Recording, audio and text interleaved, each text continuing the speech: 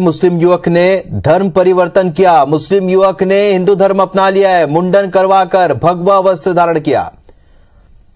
पूरे सनातन विधि विधान के साथ हिंदू धर्म ग्रहण किया। आरिफ हिंदू धर्म ग्रहण कर अब आनंद बन गया है।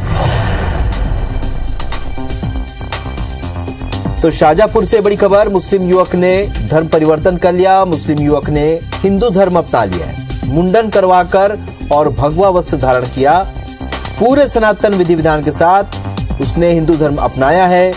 आरिफ हिंदू धर्म ग्रहण करके अब आनंद बन गया है। आइए आपको दिखाते हैं ये पूरी खबर। शाजापुर में एक मुस्लिम युवक ने सैकड़ों लोगों के बीच धर्म परिवर्तन करते हुए हिंदू धर्म ग्रहण किया। आरिफ नाम का युवक आज से आनंद कहलाएगा। दरअसल बजरंग दल और विश्व हिंदू परिषद के शौर्य यात्रा कार्यक्रम के मौके पर मुस्लिम युवक ने अपना मुंडन करवा कर भगवा वस्त्र धारण किया। और माँ राज राजेश्वरी मंदिर परिसर में और पूरे सनातन विधि विधान के साथ हिंदू धर्म को ग्रहण किया। हिंदू धर्म अच्छा लगता है। मैं शुरू से हिंदू धर्म में लिया हूँ। और मैं अपनी राज़ी मर्ज़ी से मेरी इच्छा से हिंदू धर्म अपनाया है मैंने।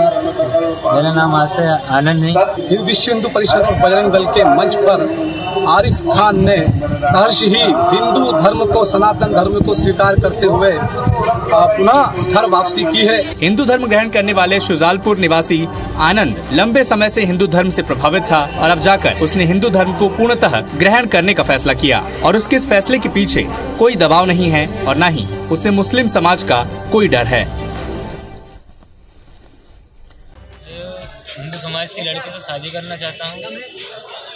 उसकी वजह से मैंने हिंदू धर्म अपना है और हिंदू धर्म में पहले रहता था, साथ में ही रहता था।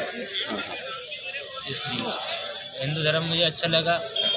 मेरी राज़ी मर्ज़ी से कोई दबाव नहीं मेरे पे इसलिए मैं अपनी मर्ज़ी से कहाँ के रहने वाले हो सुजाल क्या नाम? मेरा नाम आरिफ था। आज से मेरा आनंद आनंद नाम से जाना जाएगा